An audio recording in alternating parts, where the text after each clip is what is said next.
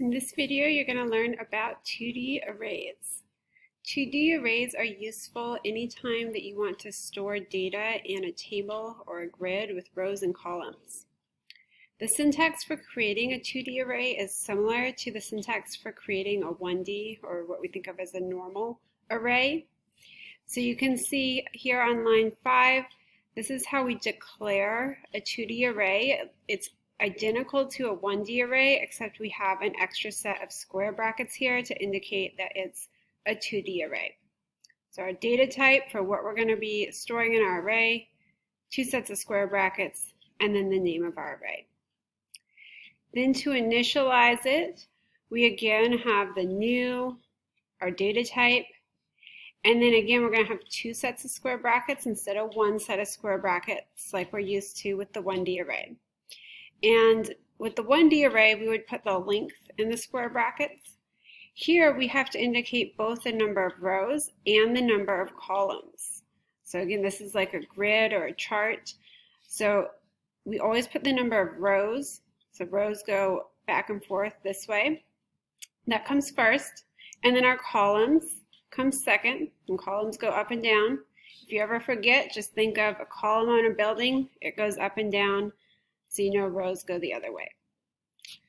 So we've got three rows, five columns, and then just like with 1D arrays, if you try to print uh, your 2D array directly, you're just going to end up with the memory address it's stored at.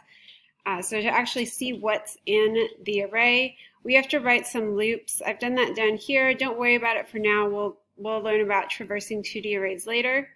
Uh, but just know that this uh, method will print our 2D array. So when I call it, you can see over here that I have uh, this grid. It's got three rows here, five columns, and everything is set to null. So just like with a 1D array, if we declare and initialize an array of objects, then the default is null.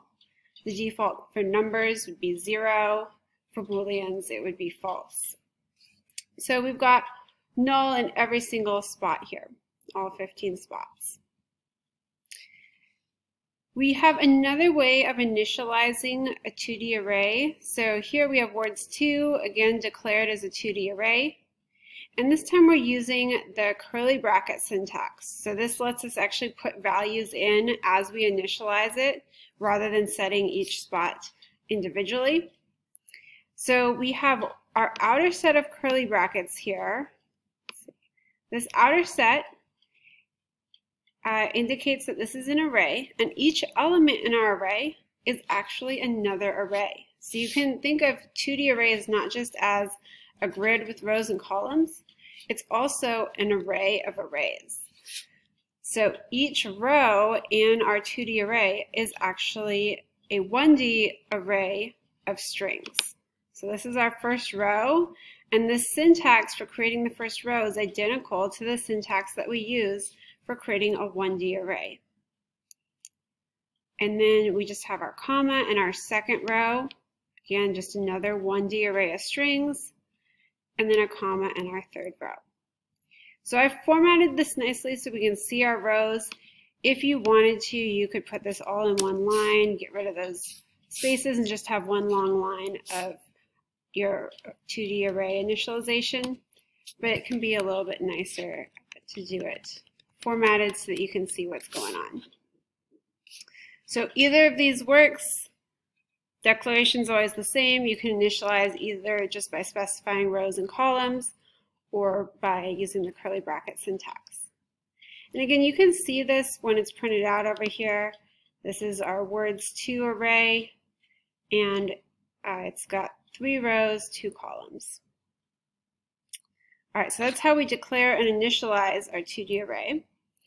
If we want to change one of these elements, so we're modifying one of our elements, we need to specify the position, which element we want to modify. So we have to use two sets of curly, excuse me, of square brackets. So just like with our 1D array, we put our name of our array, and then uh, in square brackets, we put the position. Now we're going to have two sets of square brackets. The first one is for the row. So we're saying we want to modify an element in row 0. The second one is for the column. So column 4 in this case is our last column. We have five columns, but they start being numbered at 0. So we have columns 0, 1, 2, 3, and 4. So we can see that after we've modified the element in row 0, column 4, when we print that array, now all of our elements are null except this one right here, which has our new value. So it's in row 0, column 4. So this is our syntax for modifying elements in a 2D array.